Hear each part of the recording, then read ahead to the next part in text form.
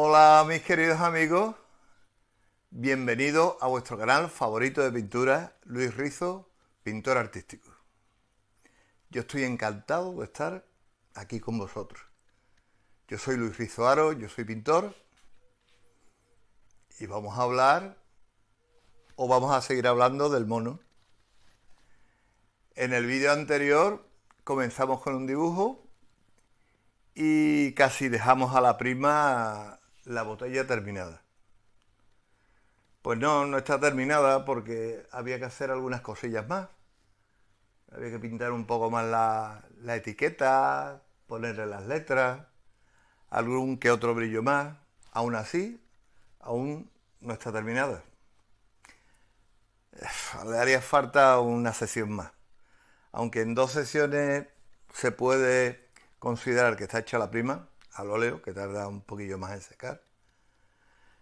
Sin embargo, mm, en esta ocasión va a necesitar una tercera mano. Ya la tercera no, porque son pocos los detalles. Lo esencial, lo principal, ya lo tenéis. Se admiten sugerencias. Si no hay sugerencias, no puedo hablar con vosotros, no os puedo explicar cosas. No tendría cosas que explicar. Si os ha gustado, like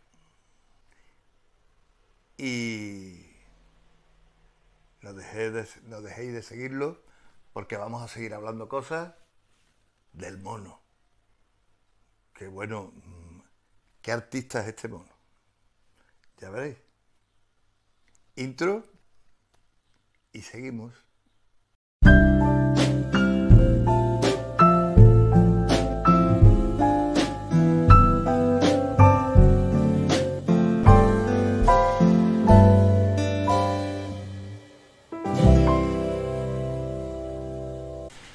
Pues el propietario de la marca, Vicente del Bosch, viaja en 1902 a París, compra un bote de perfume para su mujer y cuando aprecia la botella se queda con la boca abierta y compra los derechos al dueño de la perfumería para tener esa botella, porque pensaba que era ideal para su bebida, por lo que tomó este modelo, lo reprodujo sin saber que estaba creando uno de los instrumentos icónicos más populares de la Navidad en España y probablemente en el mundo.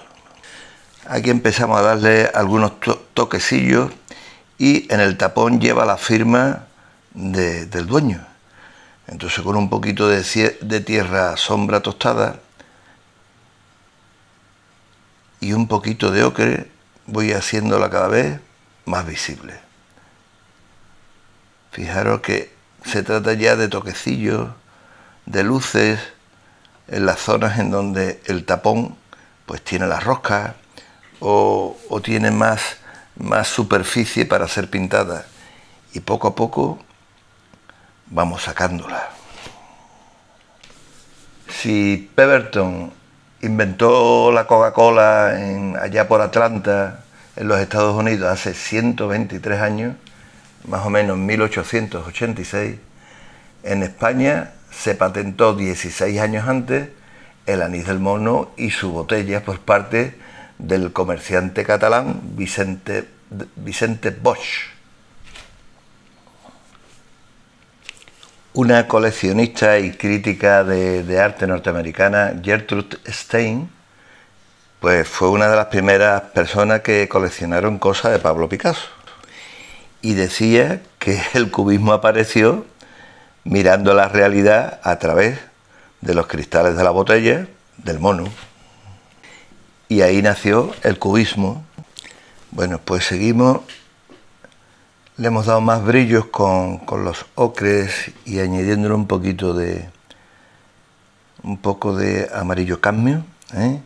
para darle mayor eh, fuerza a los brillos y estamos ahora también dándole un poquito de luces al rojo cambio, eh, ayudado de un poco de naranja que se le ha y un poquito de blanco. ¿Eh? Y ahora unos blancos un poco más puros para buscar los brillos superiores y dejar un, un tapón que aunque no es hiperrealista, pero es bastante realista. Fijaros qué buena pinta va pillando la botella. Tuvieron tanta vista comercial en la empresa que se dedica al tema de, o se dedicaba al tema del mono, porque actualmente tienen otros propietarios, pues que hicieron un, un concurso pictórico al que se presentan más de, de 100 artistas y, y bueno, fue Casas quien se llevó, y nunca mejor dicho, el mono al agua. Aquí ya empiezo, mm, pues a mano alzada, pues a hacer algunos de los eh, de las letras, algunos de los letreros que lleva la botella. Poco a poco se va rectificando, al principio con un blanco más, más sucio, más roto, y poco a poco se le va metiendo un poquito de, luz. Y esto se refuerza con una mezcla entre azul y tierra sombra tostada para hacer un color parecido al negro, para perfilar las letras tal y como están en el original y además que, se noten mejor. Y marcamos con este con este color también algunos detalles para que se vea un poquito el, grosor que tiene la, etiqueta sobre el anís y darle pues mayor visos de, realismo. A continuación vamos a ver a lo largo del vídeo eh, algunos cuadros y algunos carteles eh, publicitarios que gracias a esta, a esta marca pues le ha dado vida al arte.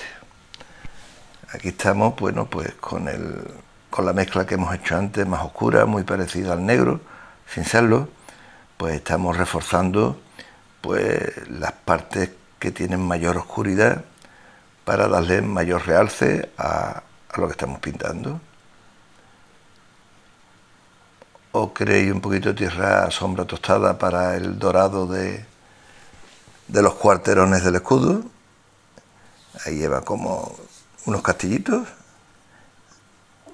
En el centro Granada. Y la parte exterior de ese óvalo que forma el escudo, pues con un poquito de blanco como, como está en, la, en la etiqueta actual. Y poco a poco vamos perfilando todo lo que es la tinta plana que lleva la marca, la etiqueta. Hubo una polémica tremenda entre los pintores de esa época, porque unos decían que habían que poner las botellas que representaban en los bodegones con, sus etiquetas y que se vieran pues las marcas, el origen de las botellas. Sin embargo, bueno, con Picasso y con todo este tipo de Juan Gris y toda esta gente, y hubo otro grupo con, encabezados por Cézanne, pues, que decía que no, que se ponían las botellas pero que no, que no se le ponían etiquetas. Bueno, siempre con la polémica por delante. Actualmente en el arte no, desgraciadamente creo que no hay tanta polémica, porque muchas veces, bueno, pues las corrientes, los sismos, pues pueden dar lugar a, corrientes artísticas interesantes.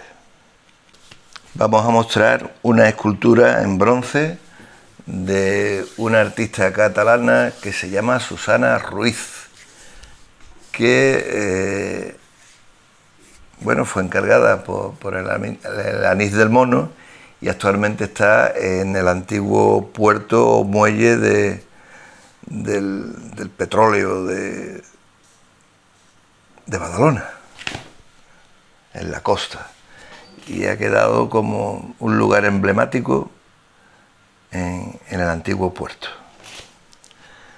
Seguimos reforzando las tintas planas ¿eh? y dando luces para conseguir un poco la sensación de, de cilindro, aunque sea tintas planas, pero nosotros estamos dando algunas luces y seguimos pues con todo el tema, todo el proceso de, de darle letras a, a la botella.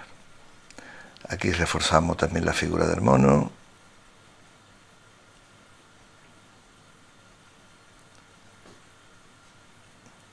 Y fijaros como poco a poco va adquiriendo, bueno, pues la sensación de realidad.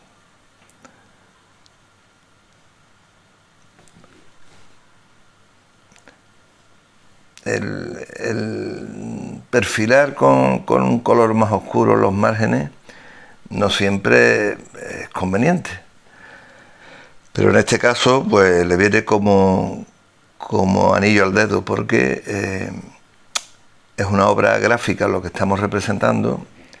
Incluso la botella quiero que quede un poco como un cartel publicitario cuando esté terminado el, cuadro.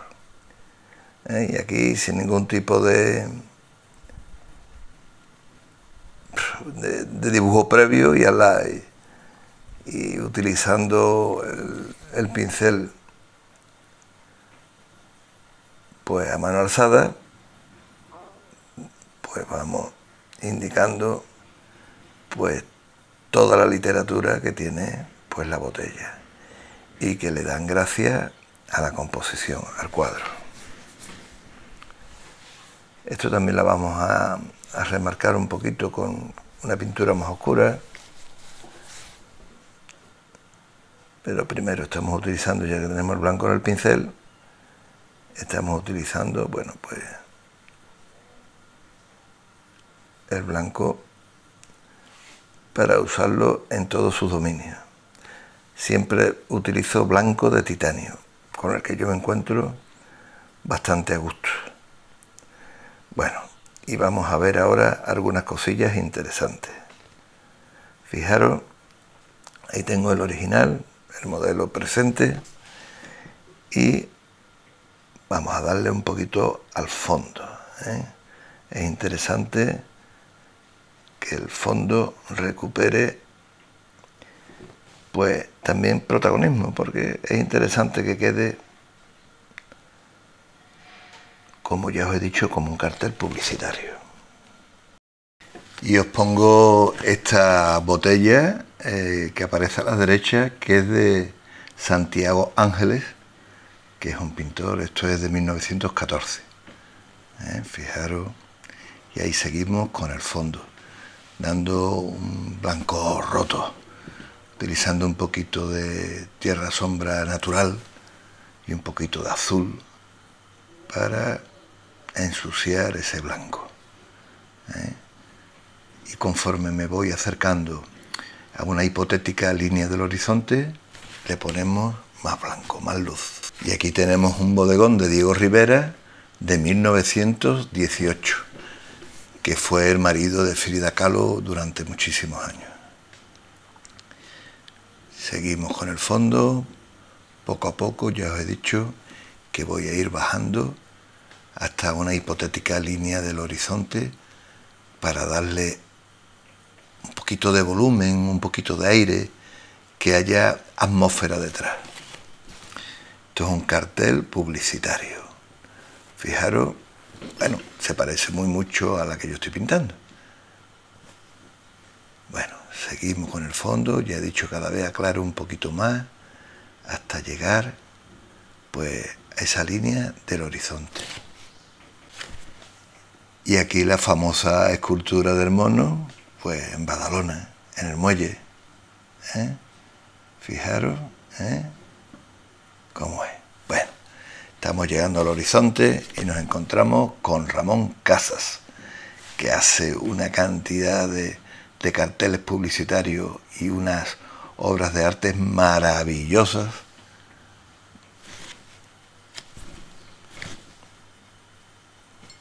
Y aquí Picasso, en uno de, de los cuadros que hizo sobre la botella. Ramón Casas ha hecho ya etiqueta.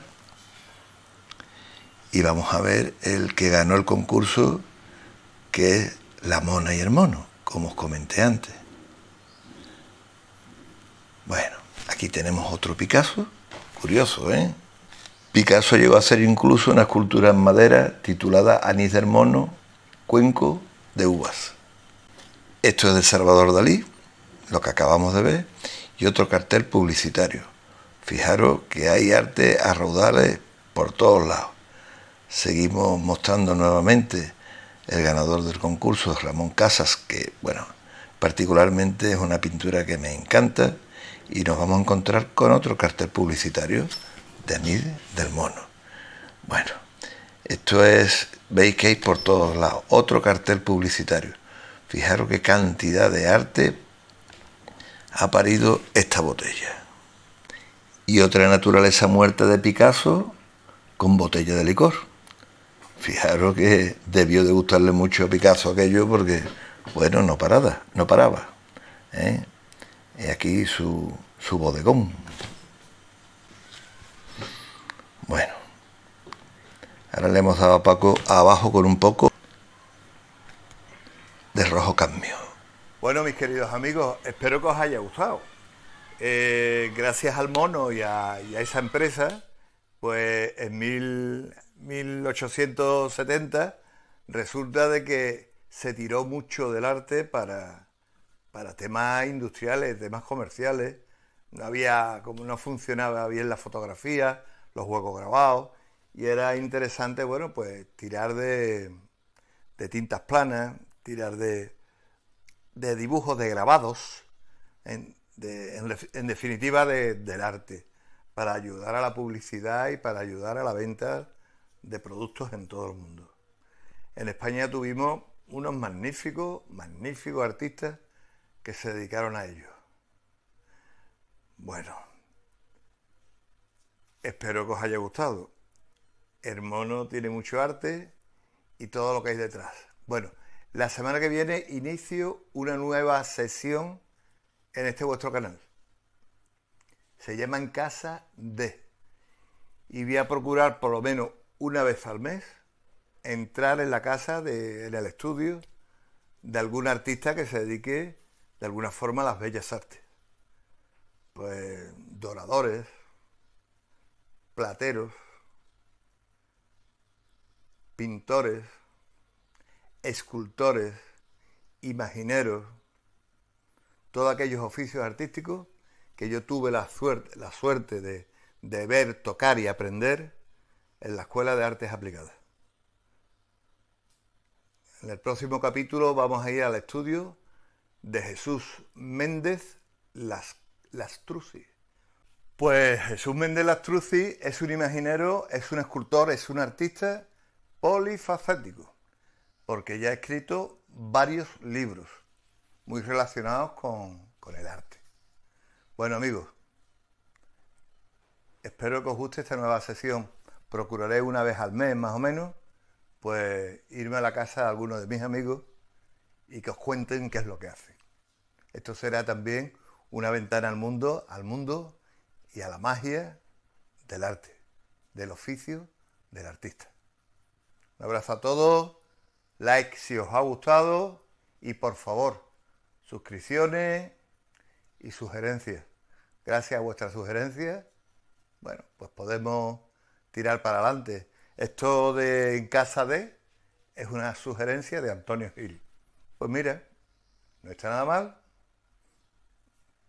Un abrazo a todos y hasta el capítulo número 103 de este vuestro canal favorito de pintura. Nos vemos. Thank you.